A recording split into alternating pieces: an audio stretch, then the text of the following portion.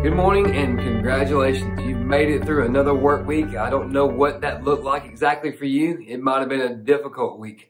Others might have said, man, it's been a God week. It really has. God has shown up and showed out in so many different ways. But regardless of how your week went and how that's affected you, I pray that God's word has spoken to you daily. As I said yesterday, the lessons for this week are timely. They're also very difficult to deal with in the current context that we find ourselves. And so we're wrapping up today reminding ourselves that ultimately how we relate to those in authority over us reflects on who, who Christ is in our life. Remember, the theme kind of the week is reflect Christ and how you interact with all authorities, all authorities. And so today we're looking at verse 5, which tells us, therefore you must submit, not only because of wrath, but also because of your conscience. It's funny because if you remember, I ended yesterday with that question, when have you tried to get away with something but you got caught? And it kind of goes along with what I've heard people say before, well, only wrong if you get caught. Well, really? You know, it's, it's only illegal if you get caught. I mean, that, that doesn't, that really doesn't make rational sense if you think about it because it's not illegal because you get caught. It's illegal because it's wrong. You know, it, and of course, I'll indict myself on this one in terms of how, the rate of speed we drive. You know, it's illegal to drive over the speed limit because the speed limit has been established as a means of protection.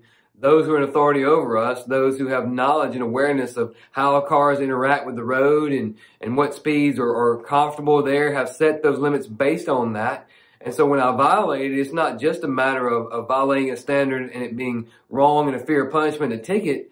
But it's also my conscience should say, hey, not only are you violating man's standard, but you're also endangering yourself and those around you. And that can be true for so many different situations. Trespassing, for instance. Well, it's only wrong if you get caught.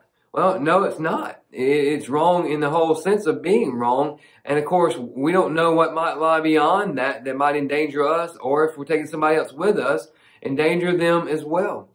Paul also brings up a great point here because it all relates to the idea of conscience. Um, and, and we know that as we were created in the image of God, everyone has some aspect of conscience. Of course, as believers, we have the Holy Spirit, which is better than any human conscience, but that it awakens the conscience.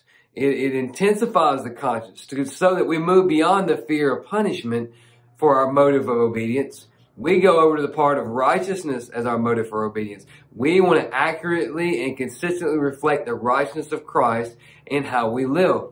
Not live out of a fear of being punished for violating, but live out of a desire for righteousness is why we obey. So that's the proper view of it. And Paul says we do it for conscience sakes. Because I mean, you think about it, how many times as children, because we had been uh, um, disciplined, we did know that rules were a certain thing and we should do and shouldn't do certain things and we did it. How many of us, it just tore us up? And that, that's really how our parents found out. They could tell that our demeanor had changed. We had a different disposition. And of course, the observant parent can look and say, you know, what, what's wrong? What'd you do? You know, they can, oh, you know, would it become quiet? I mean, you know, all the different symbol, um, indicators, parents, we pretty much know what to look for, right? And so today, Paul reminds us that we should not live uh, in terms of how we relate to authorities simply out of fear of punishment. That's not the Christian um, motive, and that's definitely not a Christ-like motive. We should also remember that we should live out of a sense of, of, of appreciation that government has been placed in a position for our good.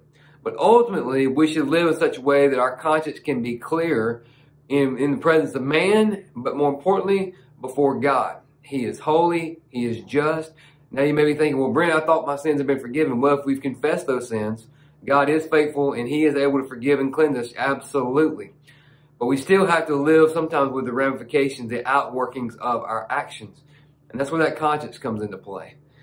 So today, um, the question kind of goes around, you know, this idea of, hey, how can I live my life in such a way that my conscience can be clear? Not just that I avoid punishment for violating man's laws, more importantly, that I represent faithfully the righteousness of Christ as I seek to live out, live through his nature and through his character, because ultimately that must be our motive. Well, looking forward to Sunday. I will not be with you this Sunday. My family and I are going to have a little time of vacation away before school cranks back up. But I'm excited that Brother Aaron is going to become a very capable teacher. I know he's going to do a phenomenal job. He's going to continue looking at the book of Acts, continue in chapter 3. So please be praying for him now. Come expecting to get fed the Word of God because he loves the Word and he's faithful to teach the Word. I'm just excited to have him as a part of our team. But until we are back together, I just want to encourage you, as always, remember, live sin.